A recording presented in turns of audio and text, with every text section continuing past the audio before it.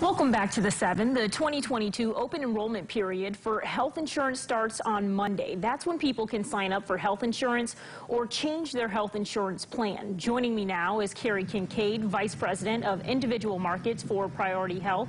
Hey, Carrie, thank you for being here. Thanks for having me. Yeah, of course. First, let's talk a little bit about some of the changes that people need to know about this year.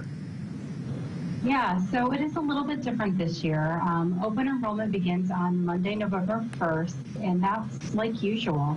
But they did extend the open enrollment period, and it's going to go all the way through January 15th of 2022 this year.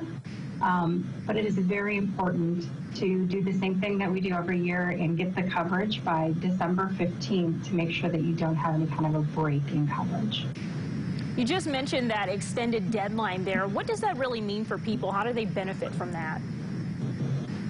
I think that the benefit there is if you happen to miss that cutoff of December 15th, you have a period of time, about a month extension, so that you can still get coverage in 2022 because outside of special circumstances, you can't just open enroll throughout the year and missing that deadline has got to be tough on families. Can you talk a little bit about some of the subsidies or tax credits that might be available? Absolutely. They've recently improved those subsidies and tax credits, and um, Health and Human Services has published data saying that four and five um, individuals and families can now find policies out there that will cost them $10 or so a month in premiums after tax credits. So it's definitely worth a look this year if you have not looked re in recent times. They've significantly improved.